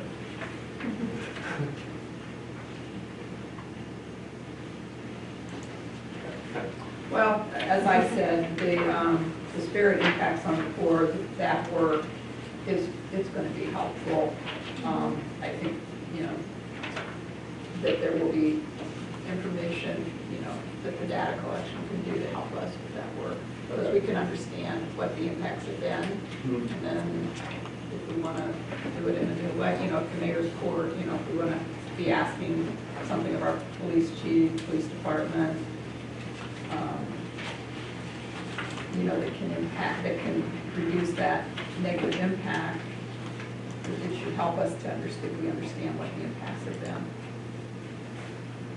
I'm sure there's other stuff, but. Yeah, is there anything else that people want us to look into? Um, So unfortunately, you know, I've been looking into what uh, data is available for analysis, but I still don't totally have it. Um, So you're trying to gather, you want to explain that, just, you're trying to understand what, Yeah, what the what all the data sets are that the YSPD controls that I can request. Uh, But yeah, I don't, that like exist in like a data set way where like it comes as an Excel file or something that can be pushed into Excel. Um, And and be analyzed. I, I am still looking at that. Um, Well, I think, I mean, Lisa, I don't know, I, I kind of So, feel like we, we that- could just would- ask for that from the chief. I don't know. Well, I- I- I'm just now catch, I mean, I'm just coming up to speed with this commission, but, I mean, if I understand it, I mean, are you just, just randomly trying to collect and analyze any data you can get your hands on, or is it, is there a centering question, that- a research question they're trying to ask, or, So, I mean, I- I'm confused, so I, but that, I'm new to this commission. so yeah, I'm sorry, it's sort of why that paragraph's there is, um, because I felt bad about the open-ended question, because I feel like part of what, why it puts everyone at a disadvantage is because actually people don't know what's available to be analyzed, so you don't know what questions are answerable. Um, uh, the way that I've been planning on trying to answer it's just get the handbook for the software suite that they use, and then it would explain everything that, in theory, you could do with it if they were using all of the different things that they can use to record with it. And then, and then learn what it is that they're actually, how they actually use the software suite. But what is the problem that we're trying, what is the question that you're trying to answer with data? Or the, or the problem, or the, what points are you trying to support with data? Right. I mean, as a, as a, like I, as a PhD, I, that's what I think of, you have a question, Right, yeah. no, I and get then you. you, or a hypothesis, or you have a, Yeah, so I do have questions, and uh, we do- we do actually have a follow-up study that we want to do, and that we would like to ask if it's okay if we, we go ahead Well, and I design that. just want to Okay. say something about that. We did have a charge from the task force, and it did say very clearly that we would um, research types of citations issued by the police department, the path, the flow path of what happens, Oh. Uh, police policies and practices, what the officers do during their shifts, chains of commands, and so on, and the exercise and role of police officer discretion, and what types of cases are the police investigating. So there, were- I think the intent there was to make it more public, more transparent to the community uh, in particular, to say this, I mean, so it's descriptive, it isn't really, that part of it is just descriptive. What are they doing? And, you know, and then you go to, why are they doing, for example, why are they giving more warnings to African-American men in our community? That's, that's a bigger question. That's a problem-oriented research question. Right. So we're sort of, we're sort of fulfilling our charge with the work that's been done. Mm. okay, thanks. That's, that's part of why it's useful. and- And what, the part of it that we haven't, the dotted line that we haven't completed is how do we, what's the best way of informing the community? Because this was part of what this transparency is about. Right. How do we tell the community, this is what it looks like, but this is what our police officers are doing, you know? And we can do that partly through, at one point, we were talking about stories, which can sometimes be much more powerful. I mean, if you talk about the fact that in the last year, probably in the last six months, our officers had to deal with X number of overdoses for real, suicides for real, I mean, the things that they actually have to do um, would be another part of that story of describing. Um, Anyway, I think it's important to remember that we did, we're fulfilling a charge and we're pretty, we've done a good job of that. But isn't part of the question there, you know, in terms of being able to see what the software makes possible to gather, the information that it makes possible to gather, and then what, how, how is it being used? And that's the piece that if, if, if the committee, if the committee members who are trying to work on this are having trouble getting that information, I just think we should ask the chief for it. Uh, I Because don't- we are, we, what? I don't think that's necessary uh, yet, Okay. but, thank you. Um, But if it is, I think that's what we should do. But yeah, it's sort of like a, if every, if all you have is the, is the citation data set, then, you know, it's like, if they only told you I was a hammer, then everything looks like a nail. So like, you try to figure out what, what are the, what is the, what are the data sets that are available. Well, I it just seems to wanna- be following a pretty good process in a, in a roundabout kind of way. Yeah. You, you started out and took a lot of data on who got stopped for what when over a six-year period. So- Put it together, did some analysis. The follow-up study, you know, has asked several questions. So you take a bunch of data and see what you got, figure out what the tools are, where the data are, and you're continuing to do that. This chart, I think, is also valuable. Both of those things then suggest other courses of action. So I think the thing to do is to continue seeing where the data takes you, and more information comes up, um, do the same thing. I don't think there's much more that we can do or say about this. Okay, and then, yeah, and then this follow-up study, um, would, would basically, it would be looking at the same stuff that previous Wright State University Statistical Consulting Center report looked at, um, but sort of, these are my interpretation of sort of the feedback I got from the committee and from the council. Is sort of the question, you know, has there been a change over time, since it, you're looking at six years? Um, is there a statistically significant difference between current and former officers? Because people were asking, you know, there's been a lot of turnover. And uh, were any of the officers outliers relative to the rest of the department? And there's, you know, some policy implication to that if it's just a couple officers that are the problem versus is it, you know, systemic. Uh, And this would look at, you know, uh, it would include 2017 data, include up to December 31st, 2017. Um, And so uh, Dr. Tarpey had said that, you know, when we're ready, we can, we should contact, reach out to him to uh, see if he's available to help us design this um, follow-up study. Uh, The director of the United State Statistic, um, Statistics Department. Um, So is it okay if we we go ahead and and design this this study? Let's try to do next. Alright. Awesome, thank you guys. Everybody feel we to pay them? No, for free. He is um, a Yellow Springs resident and you know, he's doing this both, both as somebody that just enjoys doing statistics and as, um, you know, just a citizen, civic He has a personal interest in He has a it, personal interest. member of the community. Yeah. He's So- a, he's a good friend of real nice guy. Cool, okay, thank you. And so let's go on to new business, the idea of a police officer attending an update regarding a little past time, but not too far. It's good.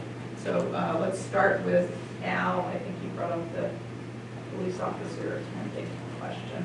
Oh, yeah, I mean, there's, just in the course of this evening, it seems that if we had had someone from the police department here, they could have, they could have been valuable input. What would, data would, that would be valuable to them? Uh, uh, What kind of analysis would help, help them uh, to, uh, to be better? And saying, it comes up when, when we have data, when we're doing data analysis, that there are all these uh, cases when, where officers did not list the race. uh, And so why did that happen? And then if we had had uh, someone, some police officer to, to, they could have answered the question very quickly. But uh, I think it seems strange that a Justice System Task Force should be, uh, should not have any input from any of, other than when individuals meet with the chief or something. It seems to me there ought to be uh, some more involvement. Great idea. And, the- and the police, the the two officers I talked to were very eager about it, and when also seemed sort of puzzled why they were not uh, wanted as part of the group. Um, I will say, when we started, um, we had made the decision not to ask uh, the chief to come or Patti because we wanted to get established. I think we've done a pretty good job of getting established. But um, I did have a recent conversation with the chief, and, you know, I'm sort of trying to imagine how they would participate here. Um, and so that's a question. Um, So we're talking about the working groups. You know, I, I, you know, I'm not sure how they would participate. Maybe there would be some question they could answer, although even in the example you give out about, you know, why are you, some people not marking race, say, I, I don't know that one officer being here would be able to necessarily answer that. Maybe they could, maybe they couldn't. Um, If different people are doing different things, um, it could be communicated back to them, we would have an interest maybe. But, um, so I guess that's the question is, um, you know, what, it, it's not totally clear to me, but I'm not, so that's just, that's my comment. I didn't mean to suggest they should stay for the whole time. It just seemed that, uh, they, and one of the officers said if the, the the officer on duty Tuesday night could be, could be part of their time, work time, could be to come in for 15, 20 minutes and. Well, HRC invited cops to come and speak to, yeah, to HRC for the public, and basically the only ones that would come were ones who were gonna be working because they have to get paid regardless just for being here. Mm-hmm. And so they basically were like, well, let's just get ones who were working and stop in for a second. And I, I just, you weren't able to get someone to just sit. They would just come and kind of come and speak. It was kind of a, it became a gesture that the police were doing a paid thing. It- So the, I'm just saying that it Right. turned into something else when we really wanted it to be much less that. And I, I have a feeling that would end up being the exact same thing, like, oh, okay, seven o'clock. I'll make sure to take that shift and I'll get a few extra bucks too. And that's ended up what was happening. So I, I, we've, you tried it before, but, I mean, we could try it again. But I, I have a feeling you'll end up, Were you expecting them to perform a particular function or just be there? No, they would give a, they'd speak, but it was candid. It was all about, you know, we had questions for them, what they do, where they go to church, sports teams, you like, you know, like really non-police rated. Um, and, you know, we asked them not to come in uniform, but like I said, once they saw seven o'clock, it was, uh, well, it's round shift change. People are either gonna have to stay longer, we pay extra for that, so they're like, we're not sending any of them, so since it's the start of the shift, we'll just allow that to be the beginning of their shift, and, and so it, it became, they were just here in uniform, not being able to candidly speak at all. And so I just wouldn't feel like we went into the same problem. The only thing, I hear, Al, what you're saying, you know, they know we're meeting and they're kind of wondering, what are they talking about, maybe, you know? uh, And feeling a little weird about it, and so maybe there's some way of communicating that maybe it's more about meeting with them at a- a staff meeting once a month and saying, this is what we're working on. Do you think that would solve the, would be a better way. maybe that would, I don't know. Well, I think it makes sense to involve them if they want to be involved, and the justice system includes the police. Uh, You know, our charter is to look at the justice system, which goes out past Mars, as far as I'm concerned. So it's logical and reasonable to try and, you know, talk to them. They're express, some of them are expressing some interest, maybe approach Chief Hale and, or um, Carlson and approach it with him, asking the question that you're asking too. Just a thought, maybe since this is, you know, we're doing these plans, maybe each work, working group could be asked if they could attend a staff meeting to present their plans, the way we've just done tonight, and maybe in a more concise manner. Sure. Say, you know, uh, this is our working group, and this is what we hope to be working on this year. Fifteen minutes of their, Right. you know, I think that would be, uh, communication, you know. Would be a better way. I think if you just, if you're gonna invite an officer in, having been part of that, it would be good if you them something to talk about. We'd like for you to come and talk about this, and just have to come in to just kind of just talk. I think they're gonna look at, you know, this was, you know, what's that all about? The value of time and everything. But if you give them something, we'd like for you to, uh, discuss this for a few minutes, and if possible, make, make time for a question or two, and leave it to that, so that it's not open up to anything else. Right. So that we'll open them up to something else. Just that, that little focused topic, and then give them 10, 15 minutes, and let them go. And let them go, let, let them, let them do it right at the top. Right at the top, right after you begin to. That's good. Um, So, I guess, you know, I think from perspective of, um, you know, cynical community members, uh, the concern would be that, um, of, you know, not that anyone's proposing this, but like, you know, say, taking it to the maximalist position and having like a, a cop be like on the task force, just liaisoning like for the whole meeting, would be that, you know, the committee would begin identifying the officers, sort of, um, almost seeing themselves as a, as a branch of the department, and like, uh, obviously, that uh, not good for our, uh, appearance of neutrality. Um, and so, to me, you know, if we're having an officer here, like, that should be for like a specific purpose, like we should have like specific questions, but whenever I have specific questions, usually I don't wanna wait until the meetings have them answered, so I just ask them meetings. like, I don't, I don't know. I mean, like, I don't know if other people are having difficulty getting their questions answered between meetings, but like, I don't, I, all of my, I, know, I asked Carlson, because I want to like take up his time, like, who should I work with to like get my questions answered? And he was like, Sergeant Nat. I was like, great. So Sergeant Nat, and we just email back and forth whenever I have questions, and it, it works fine for me. Um, and in terms of the question of like, why are, why was all this race data missing?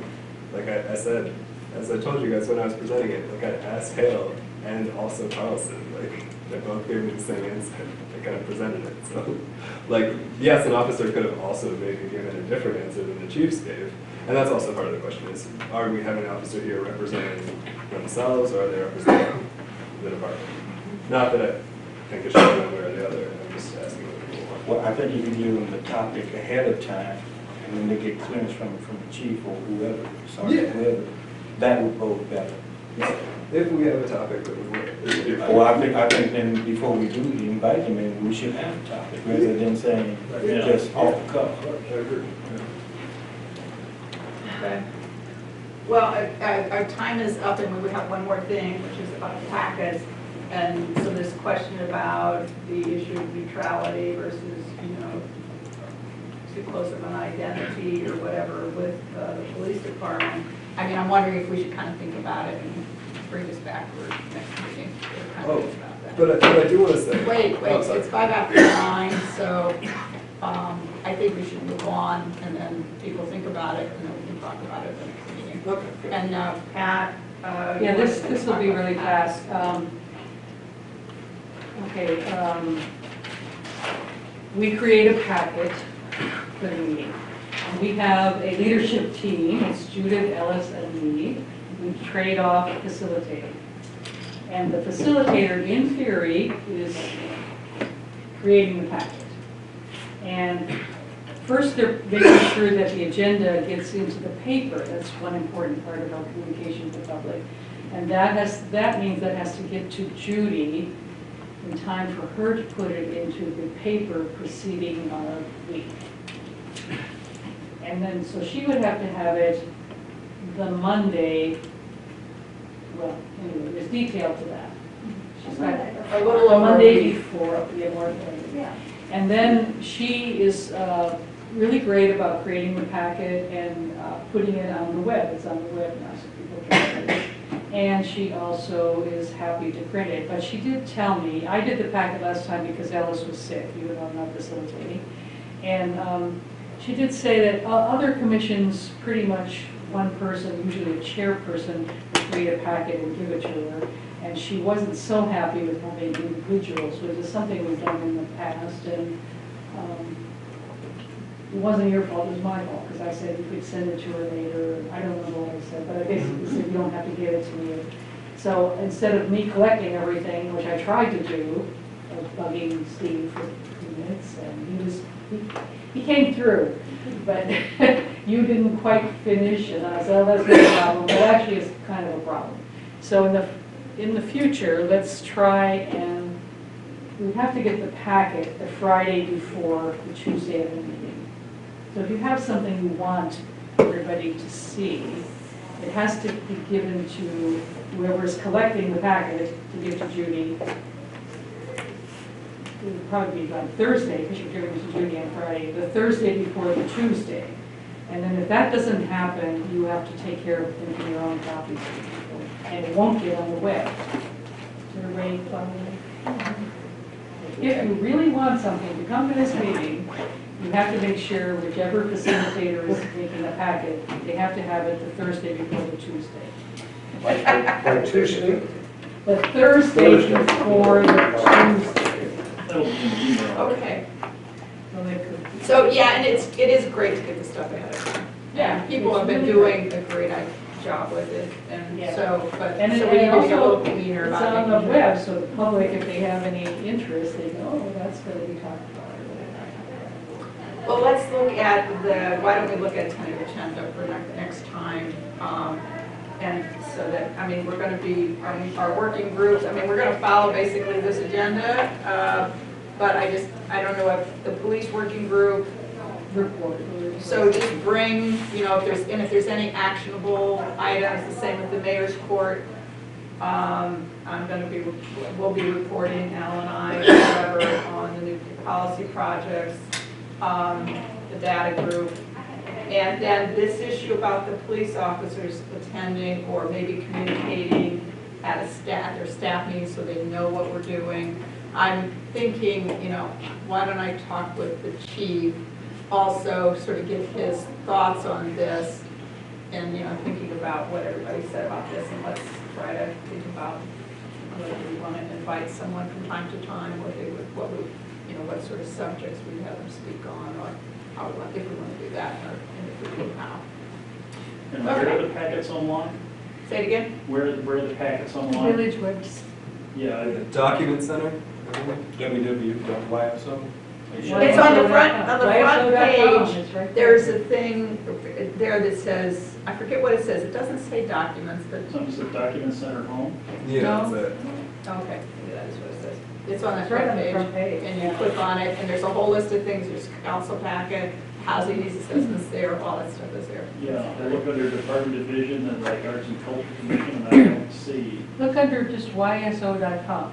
yeah, that's right. Yeah, right. it is right there, under latest news. Latest, news. it's under latest news, that's what it is. View all news, isn't that what it's under? It's, a- it's under latest It's news. breaking news and It's it's the latest third news. one down, Okay.